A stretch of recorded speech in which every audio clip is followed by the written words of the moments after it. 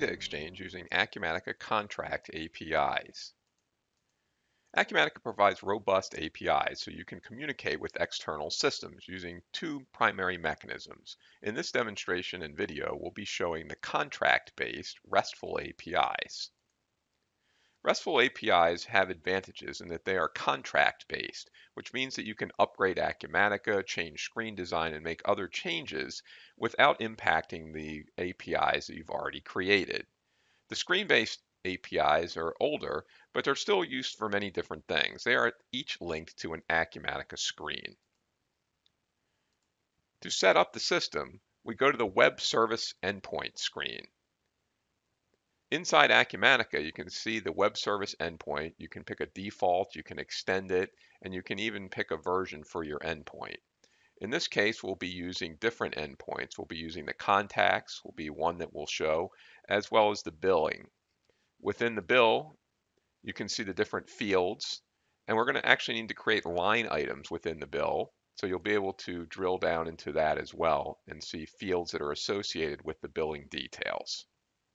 Another advantage of contract-based APIs is you can use Postman as a tool to set up and test these rapidly. Before I actually go in and build a website and do the C-sharp coding, I use Postman to test my API examples. If you don't want to set up something from scratch, we have a sample website that you can use that's easy to install. You can get started by going to the Acumatica portal. Within the pre-sales section, there's this option to set up a demo environment. If I scroll down to the bottom, you can see there's where all the snapshots are, but we have a website that's pre-configured for Web Services API demonstrations. I'm going to grab this one here to begin the demonstration.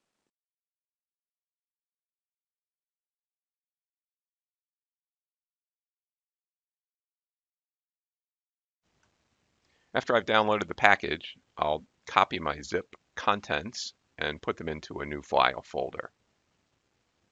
Now I've got a project that's ready to go. So let's go ahead and open up Visual Studio. And I'm going to open up the project.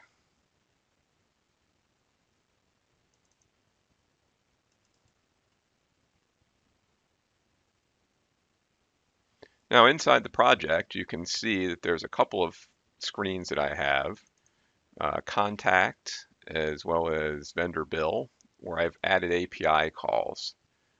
If you need to, you can replace this information with the login information that you're using for your particular site. I'm using a local instance in this case, but you can also connect to a cloud instance. Fire up. Now that I've opened up my website, let's go to the home page first. This is just a very simple website with a few links. I'm going to go ahead and log in. There's a separate database that has logins. This login name is strategically set so that it matches one of my vendor accounts. So now if I want to go in and submit a bill, you'll see this is already filled. And I'll create a bill for $20, make, pick a due date and submit it. This will log in, submit the bill to Acumatica via APIs, and give me a hopefully confirmation screen. Once I've done that, I can go enter another bill, but let's show something else. Uh, we'll go into the contact form. And I'll submit a lead. So now to check our work, let's go into the site itself. First, let's take a look at our bill. So you'll see here's my bills and adjustments. And you'll see here's the one that's on hold. And you see that I've created the header as well as one line item which contains the amount. The vendor is linked to the vendor that's in my separate database on my website.